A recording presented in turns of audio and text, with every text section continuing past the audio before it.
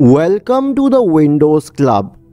If host process for setting synchronization causes high CPU usage on your system, then either read through this article on the Windows Club or simply watch this video I'll guide you through the resolution.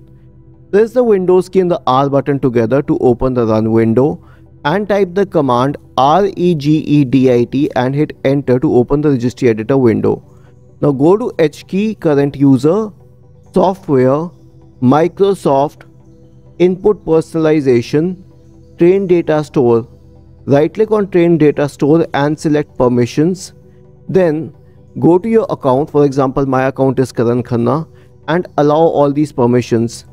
Same for restricted, same for system and same for administrators. Now it's grayed out in my case but it is already allowed.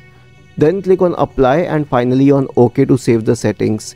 This should solve the problem in discussion. Isn't this easy and interesting?